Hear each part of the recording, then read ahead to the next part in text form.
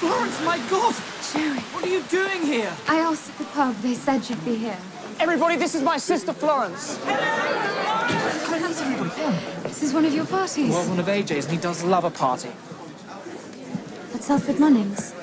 Yes, uh, this is, uh, Laura.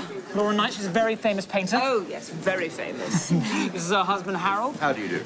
Lovely to This is Dolly. Now, Dolly, she models for us painters. Ah, If they ask nicely. Hello. And this is my dearest friend, Captain Gilbert Evans. How do you do, Miss Carterwood? How do you do, Captain Evans?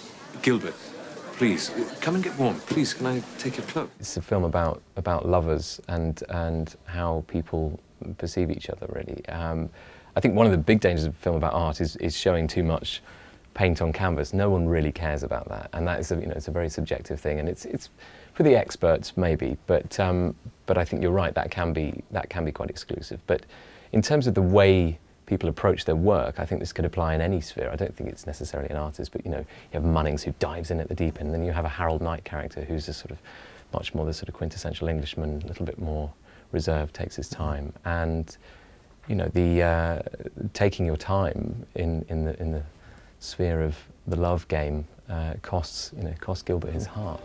It's a wonderful walk. Let's do it again. I'd love to. Tomorrow morning, then. Uh, I'm, I'm meeting AJ for a lesson. Ah, lucky man. You're very loyal to him, aren't you? I like him. Whatever he does? Bark's worse than his bite. I arrived at my school and there was a teacher there who'd written this novel, Summer in February. And there was a lot of buzz about it then. He went on to direct me in a few school plays and all the way along he sort of joked that uh, if this ever got made into a film, I'd make a great Gilbert. I didn't really know what that meant, but I, you know, sort of had it in the back of my mind. And it was a very, very affecting book and the story stayed with me. And then when I left university and became an actor, uh, Jonathan Smith, the, the writer and the teacher in question, introduced me to another guy who, who wanted to turn this into a film. And so we've been developing it for about seven or eight years. And it's just a, it's a beautiful love triangle, really. It's, it's got all the classic elements, and yet it's based on reality. And so there's this mysterious extra element that if you were to write it in a, in a conventional screenplay, and if you were to make it up, people would say, well, that, that never happened. Years from now, they'll look at you and they'll know exactly what I was thinking. Florence, there's something I want to ask you. Yes. Earth you doing mooning about out here? Come on.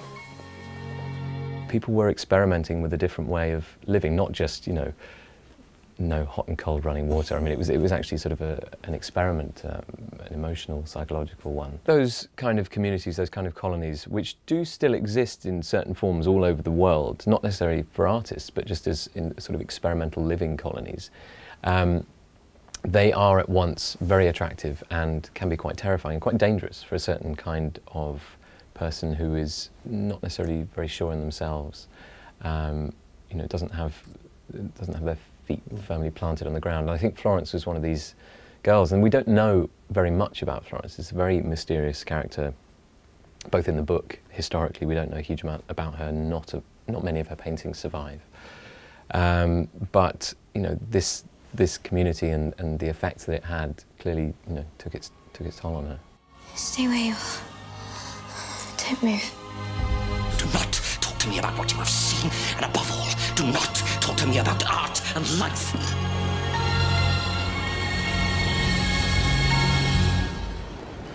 It's going to be impossible for anyone coming to the film not to think, hang on, he's he's playing a decent Edwardian fella, manager of a country estate who's been scarred by wartime experiences and is unable to articulate his love for a willful but uh, not always wise woman. Do you recognise any similarities to a previous role in your past there? Yeah, it's, it's almost as if Julian Fellowes had read, had read the book himself. Um, no, this, I mean, this had been in development for about seven or eight years when, well, certainly it had been in development for about five years when Downton came along. And um, you know, Downton looked like a lot of fun, and uh, you know, we had no idea that it was going to blow up the way it did.